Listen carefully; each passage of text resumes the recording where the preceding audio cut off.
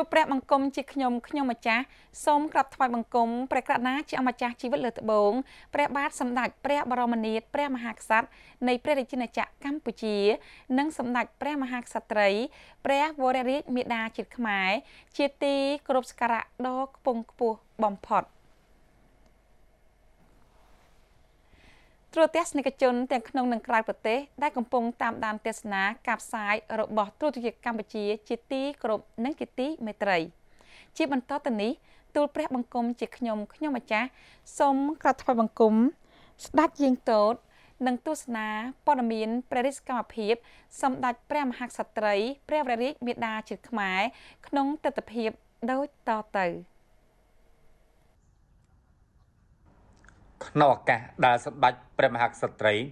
ព្រះរាជវិដាជាតិខ្មែរក្នុងសេរីភាពសេចក្តីថ្លៃថ្នូរនិងសុភមង្គលជាទីសក្ការៈដ៏ខ្ពង់បំផុតព្រះអង្គសពវិរតីប្រុសប្រជាទានលោកអញ្ញាកឹមសុនថមនាយកប្រតិបត្តិនៃក្រុមហ៊ុន Dynamic Pharma និងសហការីចូលក្រាបថ្វាយបង្គំគាល់និងថ្វាយដង្វាយនៅព្រឹកថ្ងៃទី30ខែកក្កដាឆ្នាំ2021 មុននឹងប្រោះប្រជាទាននៅព្រះសវនកម្មដ៏វិសេសវិសានេះព្រះអង្គបានសពពិហរតីប្រោះប្រជាទានលោកកឹមសុនថមនាយកប្រតិបត្តិនៃក្រុមហ៊ុន Dynamic Pharma និងសហការីអញ្ជើញចូលក្រាបថ្វាយគុំនិងថ្វាយគ្រឿងសក្ការៈបូជាថ្វាយព្រះបរមរូបព្រះករុណាព្រះមហាវរក្សត្រព្រះព្រះបិតាជាខ្មែរព្រះបរមរតនកោដ្ឋជាទីសក្ការៈដ៏ខ្ពង់ខ្ពស់បំផុតគង់នៅខាងមុខឈៀងអេសាន នៃព្រះដំណាក់គុណធម្មផាព្រះបរមរាជវាំងការថ្វាយនៅគ្រឿងសក្ការៈបូជាគ្រប់ចំពោះព្រះបរមរូបព្រះវិញ្ញាណក្ខន្ធព្រះករុណា ព្រះវរិបដាជាខ្មែរព្រះបរមរតនកោដ្ឋជាទីសក្ការៈដ៏ខ្ពង់បំផុតនៅក្នុងឱកាសនេះគឺជាការសម្ដែងនៅសេចក្តីចងចាំជានិច្ចគ្មានថ្ងៃបំភ្លេចបាន ថ្វាយចំពោះព្រះមហាករុណាធិគុណដ៏ធំធេងមិនអាចកាត់ថ្លៃបានរបស់ព្រះករុណាព្រះបរមរតនកោដ្ឋ ព្រះអង្គបានបំពេញព្រះរាជបេសកកម្មបម្រើប្រទេសជាតិមាតុភូមិនិងប្រជារាស្ត្រកម្ពុជាទទួលបាននៅឯករាជ្យបូរណភាពទឹកដី ការឯកភាពជាតិប្រកបដោយសេចក្តីសុខសេមសានសន្តិភាពត្រជាក់ត្រជុំនិងមានការរីកចម្រើនរុងរឿងលើគ្រប់វិស័យតាំងពីសម័យសង្គមរាស្ត្រនិយមរហូតដល់ពេលបច្ចុប្បន្នបន្តបសម្បត្តិប្រមាក្សត្រីជាទីសក្ការៈដ៏ខ្ពង់បំផុតព្រះអង្គសពព្រះរតីប្រុសប្រជាទាន លោកអញ្ញាកឹមសុនថមនាយកប្រតិបត្តិនៃក្រុមហ៊ុន Dynamic Pharma និងសហការីចូលក្រាបថ្វាយគុំគាល់នៅព្រះដំណាក់គុណធម្មផាក្នុងព្រះបរមរាជវាំងវេលាម៉ោង10:30នាទីព្រឹកថ្ងៃទី30ខែកក្កដាក្នុងគណៈពេលដែលលោកអញ្ញាកឹមសុនថមនាយកប្រតិបត្តិនៃក្រុមហ៊ុន Dynamic Pharma បានដំយកដង្វាយថ្វាយសម្ដេចព្រះមហាក្សត្រី ជាម៉ាស៊ីនថតកាមេរ៉ាស្មី X ចល័តចំនួន2គ្រឿង និងឱសថបុរាណចិនចំនួន20000ប្រអប់ដើម្បីថ្វាយនៅការចូលរួមដង្ហែតាមបរិសកម្មភាពមនុស្សធម៌ដ៏រងដំរបស់ព្រះអង្គឲ្យសម្រេចទទួលបានមហាជោគជ័យដ៏ត្រចះត្រចង់បន្ថែមទៀតសម្ដេចរាជបុត្រីព្រះអនុជនរោត្តមអរិយស្មីឧត្តមប្រឹក្សាផ្ទាល់ព្រះមក្សត្រ សម្ដេចជាវិវាងគូនសំអល់ឧបនាយករដ្ឋមន្ត្រីរដ្ឋមន្ត្រីក្រសួងព្រះបរមរាជវាំងបានជាងនិងអញ្ជើញចូលរួមដង្ហែថ្វាយនៅព្រះរាជពិធីដ៏មានសារៈសំខាន់នេះផងដែរនៅក្នុងឱកាសដ៏ប្រសើរនោះលោកអញ្ញាកឹមសុនថមនាយកប្រតិបត្តិនៃក្រុមហ៊ុន Dynamic Pharma បានថ្វាយផ្កាដ៏ស្រស់ស្អាតជានិមិត្តរូបនៃសិរីសួស្តីជាមង្គលព្រះបរមសុខប្រជាបុសាយឺនយូរថ្វាយសម្ដេចព្រះមហាក្សត្រីជាទីសក្ការៈដ៏ខ្ពង់ខ្ពស់បំផុត។ ដែលឡែសម្ដេចព្រះមហាក្សត្រីសពព្រះរតីប្រុសប្រជាទានវត្ថុអនុស្សាវរីយ៍ដ៏មានតម្លៃខ្ពង់ខ្ពស់ជូនលោកអញ្ញាកឹមសុនថមនិងលោកឡងច័ន្ទហ៊ុយអគ្គនាយកក្រុមហ៊ុន Dynamic Pharma ទទួលបានសិភៅអំពីព្រះរាជជីវប្រវត្តិនិងស្នាប្រហោះដ៏រងដំជាប្រវត្តិសាស្ត្ររបស់ព្រះករុណាព្រះវរិបេដាជាខ្មែរព្រះបរមរតនកោដ្ឋជាទីសក្ការៈដ៏ខ្ពង់ខ្ពស់បំផុត ក្នុងព្រះបុជនីកិច្ចទៀមទីបានមកវិញទាំងស្រុងនៅខឿនឯករាជ្យជាតិអធិបតេយ្យភាពបូរណភាពទឹកដី មានភាពគង់វង្សព្រះអង្គមានព្រះតម្រិះដ៏ភ្លឺស្វាងបំផុតក្នុងប្រជាកិច្ចផ្សះផ្សាបង្រួបបង្រួមជាតិធ្វើឲ្យកម្ពុជាមានសេចក្តីសុខសន្តិភាពនិងការអភិវឌ្ឍលើគ្រប់វិស័យតាំងពី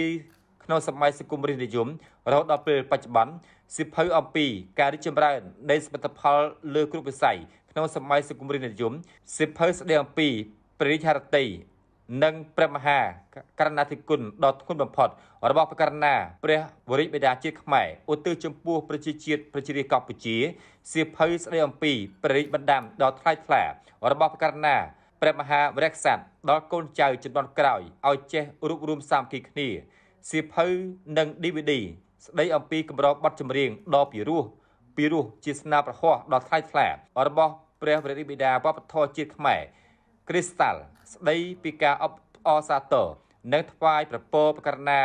ព្រះមហាវរក្សត្រក្នុងឱកាសព្រះពិធីបុណ្យចម្រើនប្រជជនគម្រប់90ព្រះវស្សា DVD ស្ដីអំពីព្រះរាជសកម្មភាពក្នុងសារមន្ទីរប្របាទសម្ដេចព្រះនរោត្តមសីហនុសៀវភៅស្ដីអំពីព្រះរាជសកម្មភាពសង្គមគិច្ចមនុស្សធម៌និងព្រះរាជសមិទ្ធផលជាព្រះរាជអំណោយដ៏រងដំរបស់សម្ដេចព្រះមហាក្សត្រី ប្រោសប្រជាទានដល់ប្រជារាស្ត្រកម្ពុជា នៅតាមបណ្ដាខេត្តទូទាំងប្រទេសពីឆ្នាំ2013ដល់ឆ្នាំ2017សៀវភៅក្នុងឆ្នាំ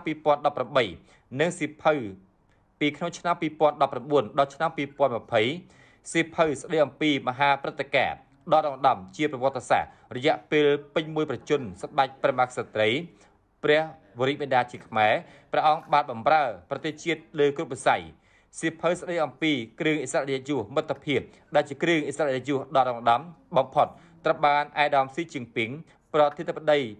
នៃសាធារណប្រជាមានិតចិនថ្វាយសម្ដេចព្រះមហាក្សត្រីថ្វាយតបនៅស្នាប្រហោះដ៏ថ្លៃថ្លារបស់ព្រះអង្គក្នុងការលើកតម្កើងចំណងមិត្តភាពកម្ពុជាចិនឲ្យមានភាពរឹងមាំនិងជិតស្និទ្ធរហូតដល់សពថ្ងៃ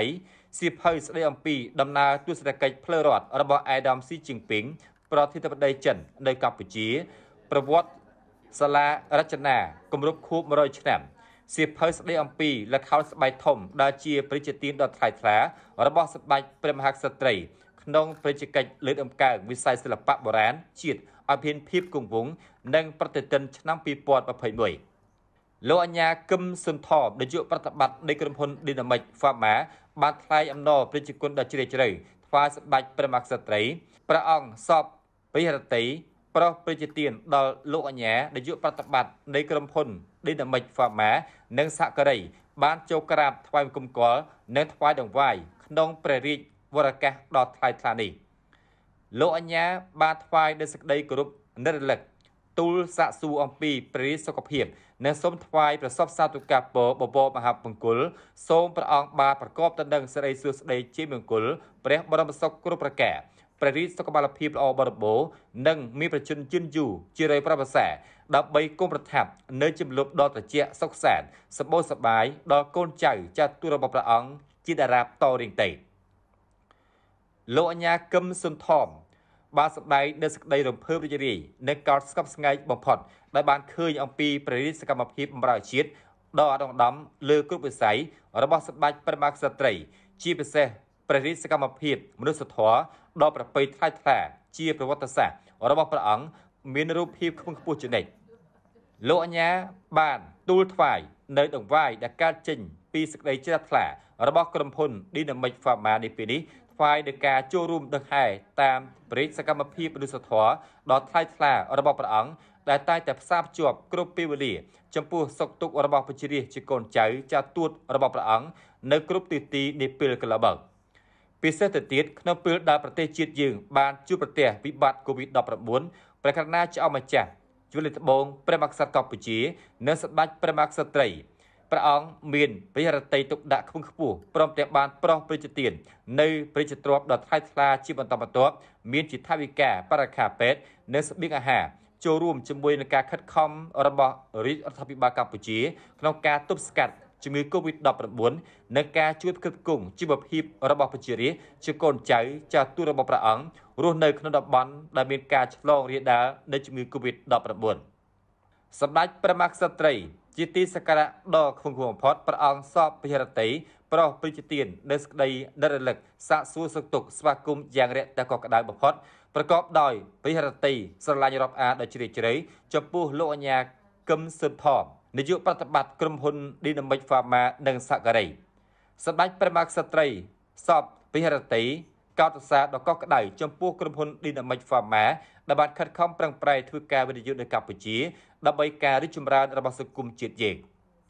សម្ដេចព្រះមហាក្សត្រីព្រះអង្គសូមថ្លែងអំណរគុណចំពោះលោកអញ្ញាគឹមស៊ុនថមដែលបាននាំមកនៅដង្វាយជាច្រើនដ៏មានតម្លៃថ្វាយព្រះអង្គនាឱកាសនេះ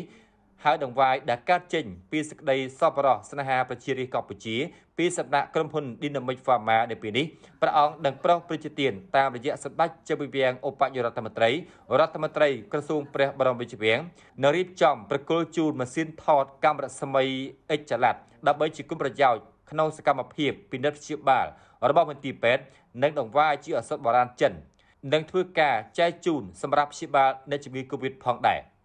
ព្រះអង្គសព វិហរតីប្រោះប្រជាទាននៅការសម្ដេចសម្ដាលផងដែរអំពីដង្វាយដែលសពប្រជាជនជាតិនិងអន្តរជាតិបានថ្វាយព្រះអង្គជាហោហែក្នុងពេលកន្លងមកត្រូវបានព្រះអង្គប្រោះប្រជាទានដល់ផ្ទាល់ប្រហោះនៅតាមរយៈព្រះតំណាងដែលចែកជួលប្រជារាស្ត្រទីតក្រ